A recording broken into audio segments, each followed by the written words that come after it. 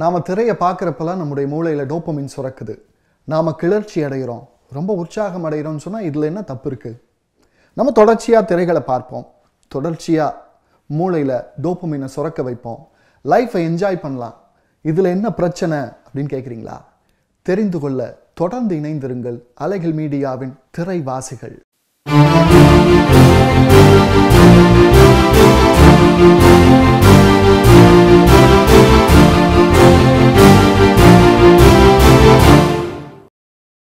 ஊடகங்கள் நம் மீது ஏற்படுத்துகின்ற நல்ல மாற்றங்கள் நல்லது அல்லாத விளைவுகளை தொடர்ந்து விவாதிக்கின்ற அலைகள் மீடியாவின் இந்த திரைவாசிகள் காணொளிக்கு திரைவாசிகளாகிய உங்கள் அனைவரையும் அன்போடு வரவேற்கிறோம். வணக்கம். நண்பர்கள்லாம் என்னப்பா ஸ்ட்ரியட்டம்ங்கிற மூளைங்கிற டோப்பமின்கிற ஏதோ பயாலஜி கிளாஸில் போய் உட்காந்து எந்திரிச்சு வந்த மாதிரி இருக்குது அப்படின்லாம் சொல்கிறாங்க உண்மைதான். ஏன் என்ற கேள்வி இங்கு கேட்காமல் வாழ்க்கை இல்லை அப்படின்னு சொல்கிற மாதிரி நம்ம வாழ்க்கையில் இந்த திரைகளுக்கு முன்னாடி நம்ம ஏன் இவ்வளோ நேரத்தை செலவழிக்கிறோம்? ஏன் அது நம்மளை இவ்வளோ ஈர்க்குது? அப்படின்ற அறிவுபூர்வமான கேள்விக்கு அறிவியல் பூர்வமான விடைகள் தான் நமக்கு கிடைக்கும். அப்போது இந்த அறிவியல் பெயர்களான டோப்பமின் இதெல்லாம் தெரிஞ்சு வச்சுக்கிறது நாம் நம்மளை இன்னும் அதிகமாக புரிந்து கொள்வதற்கு மிகச்சிறந்த உதவியாக இருக்கும். அடிப்படையில் ஒரு மனுஷன் படிப்பு விளையாட்டு உழைப்பு இந்த நல்ல காரியங்களில் ஈடுபடும் பொழுது நம்முடைய மனித மூளையில் டோப்பமின் சுரக்குது. அப்போ ஏற்படுற அந்த உற்சாகமான உணர்வுகள் அந்த பரவசமான அனுபவங்கள் எல்லாம் நம்ம தொடர்ச்சியாக நல்லா படிப்பதற்கு நல்லா உழைப்பதற்கு நமக்கு ஒரு உத்வேகத்தை கொடுக்குது. இதுதான் இயற்கையின் நீதி. இதுதான் நேர் வழி ஆனால் கொஞ்சம் கஷ்டமான வழி.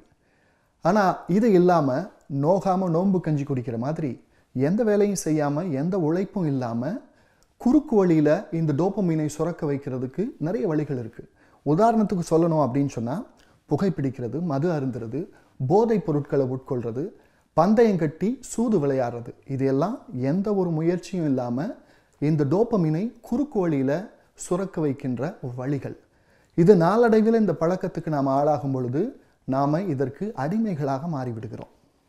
டாக்டர் டிலேனி ரஸ்டன் அவங்களுடைய ஸ்க்ரீன் ஏஜஸ்ங்கிற ஆவணப்படத்தில் screens serves as electronic drug devices அப்படின்னு சொல்கிறாங்க அதாவது நம்ம அன்றாடம் பயன்படுத்துகின்ற இந்த திரைகள் நவீன தொழில்நுட்ப போதை கருவிகளாக பயன்படுது அப்படின்னு சொல்கிறாங்க இது எப்படி அப்படின்னு கேட்டால் அவங்க ஒரு ஆய்வு செய்கிறாங்க அந்த ஆய்வில் பல வருடங்களாக போதை பழக்கத்திற்கு மது புகை போன்ற பழக்கங்களுக்கு அடிமையான நபர்கள் ஒரு சிலருடைய மூளையினுடைய ஸ்கேன் ரிப்போர்ட்டை வாங்குறாங்க.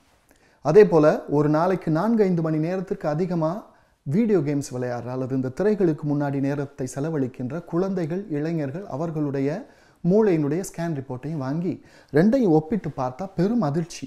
காரணம் என்ன அப்படின்னா பல வருடங்களாக இந்த புகைப்பழக்கம் போதை பழக்கத்திற்கு அடிமையாகி செயற்கையாக டோப்பமின் சுரக்க வைத்த இந்த அடிமை பழக்கத்தில் உள்ளவர்களுடைய மூளையினுடைய அந்த அமைப்பும் செயற்கையா இந்த திரைகளை பார்த்து டோப்பமின் சுரக்க வைத்த இந்த திரைவாசிகள் இந்த திரை அடிமைகளுடைய மூளையினுடைய அமைப்பும் ஒரே மாதிரி இருக்குது அப்படின்னு கண்டுபிடிக்கிறாங்க.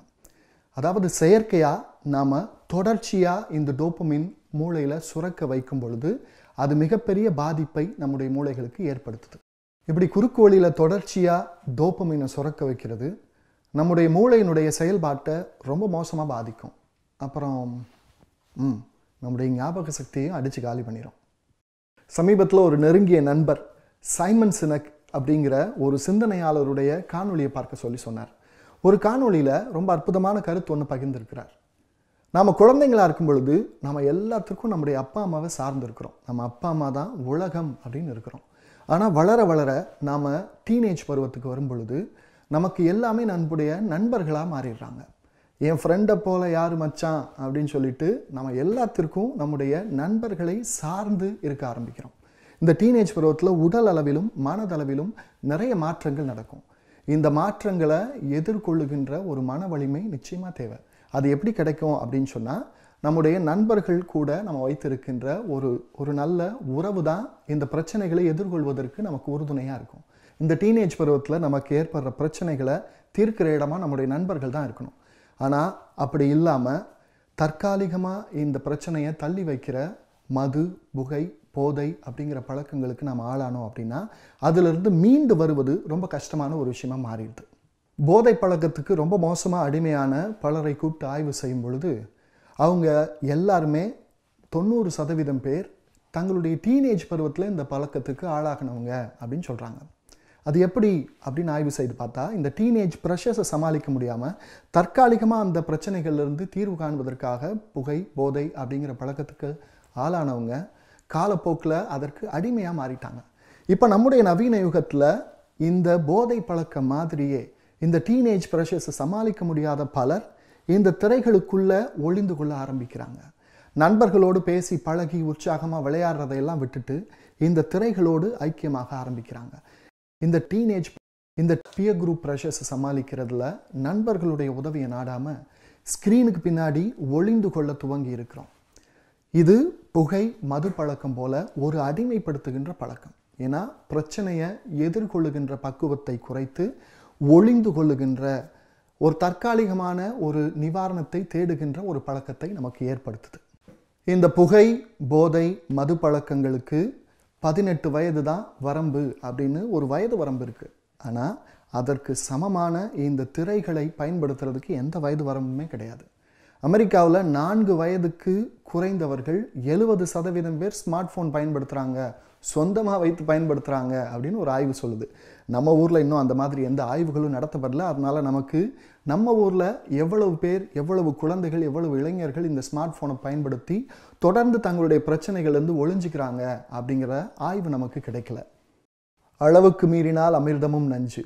அதே போல் தொடர்ச்சியாக இந்த திரைகளை பார்த்து நம்முடைய மூளையில் செயற்கையாக இந்த டோப்பமின்களை உற்பத்தி செய்து நம்ம தொடர்ச்சியான கிளர்ச்சி அனுபவங்களை ஏற்படுத்தி கொண்டே இருப்பது நம்முடைய மூளைக்கு நிறைய மோசமான பாதிப்புகளை ஏற்படுத்தும். இது போன்ற சுவாரஸ்யமான ஊடகத்தை சார்ந்த செய்திகளை நாம் தொடர்ந்து காண்போம். அடுத்த திங்கள் வெளிவர இருக்கின்ற இந்த ஊடக திங்கள் திரைவாசிகள் காணொளியில் உங்களை மீண்டும் சந்திக்கும் வரை உங்களிடமிருந்து விடைபெறுகிறோம். நன்றி.